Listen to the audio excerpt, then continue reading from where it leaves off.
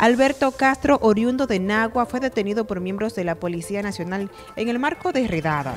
De acuerdo con la entidad del orden, el motivo del apresamiento es el porte de drogas. Al ser cuestionado, el apresado negó la acusación. Acusado supuestamente de droga. A mí no me halla nada. Ellos me rompieron la puerta de mi casa. De madrugada. Alberto Castro. De. Giovanni Cordero, NTN, su noticiero regional.